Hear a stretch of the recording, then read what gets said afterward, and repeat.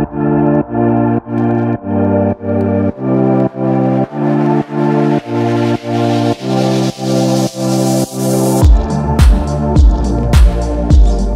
to today's webinar.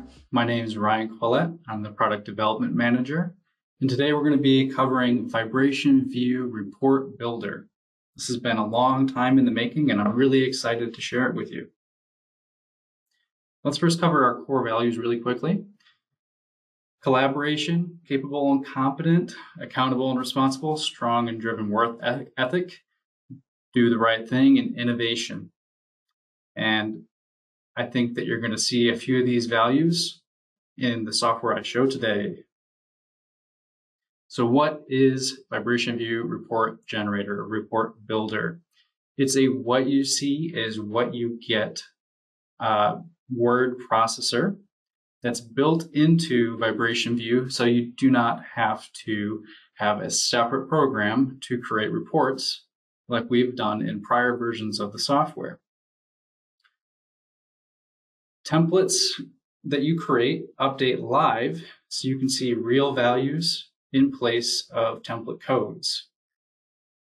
Uh, the report file also includes embedded template and that makes it easy to take an existing report file that you have and reuse it as a template going forward. And one of the coolest features, you can now drag and drop graphs and you can resize those graphs width, height, and so on, and they will live update to the new size.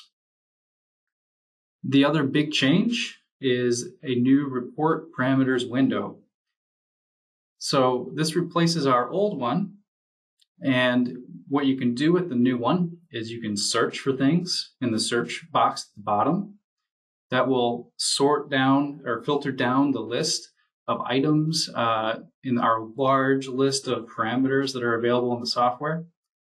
And you can also choose what items you want to copy to the clipboard or, or have for drag and drop. And that's what the copy columns is here when you click the settings button next to search. So if I want to uh, copy description and the code, um, then I would turn on description and code. If I just want the code, then I turn off description. It also supports multiple select, so I could take all of the results that you see here and I could shift select from top to bottom and copy all of these codes in batch into my report or onto my graph. There's a new syntax for Report Builder. Uh, we're going away from param in, in the report context and moving to doc variable. So in practice, what that means is where you would have typed param colon channel one before, you'll now type doc variable space channel one. And a lot of this stuff you might not need to know because with the new report builder, you can work in a, in a mode where you never have to look at the uh, underlying variables. But I do want to point this out to the power users and the, and the existing users that are used to the param syntax that we use. Form would go to doc variable and then bracket form colon. So this is how a form would work. And then a new improvement in 2024 is uh, multi-line, multi-column parameters using the uh, star and then vertical bar syntax. So this lets you do something like channel name star, which will be channel name one, channel name two, channel name three for each row, and then channel star, and then uh, in-band RMS star, I'll show you what this looks like. It's not going to make a lot of sense just looking at the text here. But what's great about it is if you have a, a four channel system, this will put in four rows with these, with these variables. If you have a 16 channel system, it'll put in 16 rows for you automatically, all with just one line. We also have a new file format. Uh, the reports are now docx format, not RTF format. Uh, VibrationVIEW can open any docx file, so you don't actually need to have Microsoft Office installed on the computer anymore. Uh, this also means any kind of document fi file. Um, VibrationVIEW can open it, which is, is useful on uh, lab PCs where we we probably don't want to spend the extra money for a dedicated Office license. VV template is the new file format for our templates, and that replaces .rtf. And you can upgrade RTF templates to VV template easily. All you have to do is do report edit template and then upgrade a legacy template. Any DocX report created by VibrationVIEW has the report template embedded inside of it. I mentioned that earlier. So what that means is you can take a DocX report that you created with our report builder, and you can actually go ahead and reuse that as your template for new tests. And just a really nice little uh, finishing touch. Uh, when you're finished with your report, you can save it as a docx file, or you can use export and then save it as a PDF file with one click. Okay, so I have a test here. It's a random test. And let's go ahead and put up, put up a few more channels so it's a little more interesting. And I will also put up one more graph Again, just to make this a little bit more interesting to look at in our report, uh, we'll do transmissibility. All right, so I've got two graphs and I'm gonna go ahead and finish my test and then click the report button. And that will bring up our report builder. So in our report builder, uh, it looks like typical kind of uh, Word editor. Um, the default templates have all been upgraded from from prior uh, releases to be a little bit more modern, um, but it still has the same content that you're used to seeing. So first of all, you're going to get each of your graphs, and I mentioned earlier that you can resize these. So if I want this graph to be larger or smaller, I can just resize it, and then it will live update. So it's one of those things that, you know, kind of feels intuitive and obvious, uh, but that is not something that we could have done before. And now you get that with Report Builder. Going down here, we've got a breakpoint table, um, measurements listed here. And this was a four channel system, so I get four of the channels listed. Calibration details, I'm in demonstration mode, so it's not listing anything for calibration. And then you also get the event log, which I think is a very important addition to the default templates that we have here. So that is how this works. Um, I could go down here at the bottom and I could go to report tab, report parameters, and then let's say I want to bring in all the analyzer parameters. I could shift select these and then if I drag them over, they get dropped in all in batch like that. And then another thing that I like to point out, select this range here, and then at the tab stop bar, we go up here and say I'll put a tab stop at four inches. And then that aligns everything very nicely. What you can do from here too is you can do show codes. And then this shows what a lot of us veterans to making reports are used to seeing, which is essentially those param codes, or what they are now is doc variable codes. So I've got doc variable analysis algorithm, doc variable analysis DOF, and then I can toggle that back to what the actual value is. So that's what's so cool about Report Builder is you can work in just seeing the result and never having, having to see the codes. But if you want to see the codes, you can do that too. I do want to show you um, what I think is one of the other really cool features of this new report builder, and that's the automatic um, number of channels based on how many channels you have in this system defined. So as I said before, I have a four channel system right now. That's why I have four channels listed here. If I do show codes on this line, you'll see that that was all defined by this one line, right? Every time you see a star in the doc variable, that means insert one, insert two, you know, channel one, channel two, and it'll do that for as many channels as you have defined in VibrationVIEW.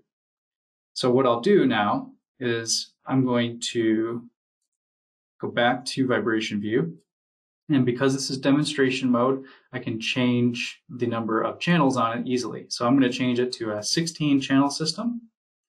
So I'll just do it like that. VibrationVIEW reconfigures itself for 16 channels. If I go to input configuration, you can see I have 16 channels. So I'll start my imaginary test again.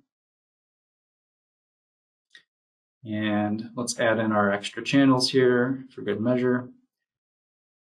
Good, good. I'll, let that come up to level. I'll stop the test and then I'll make a report and then I'll show you that we get all 16 channels in our report and it's the same template. So I'll click report now.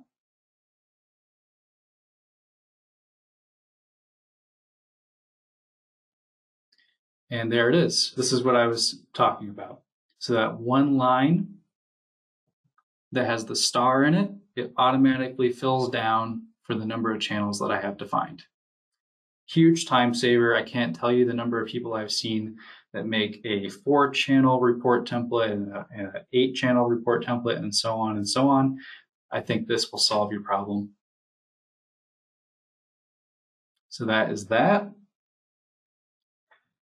Let's go ahead and customize our template. I think that this is a very common uh, thing that we like to do. Um, let's see, what could I do for a customization? Um, let's say I don't want calibration details, just as an example. So I'll delete this, this whole section, calibration details. And let's say I want to include all the analysis parameters that were used for the transfer functions. So I'll go to report parameters here.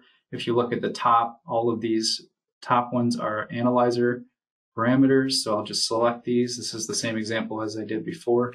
I'll drag them over.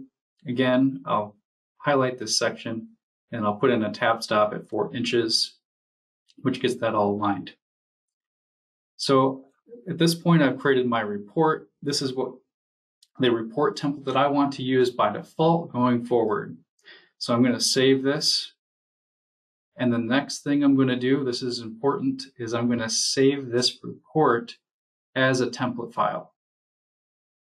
So I'll save it as a template. If I save it in this special name, this test report name right here, that is the default uh, test template for random, and that'll be true for all the test modes. But, so if I, if I save it as test report, go ahead and hit save, overwrite. Now, when I close this, get rid of this one too. If I create a whole new report, it's going to use my new test report template that I just saved. And what you'll see is I don't have any calibration details listed in here.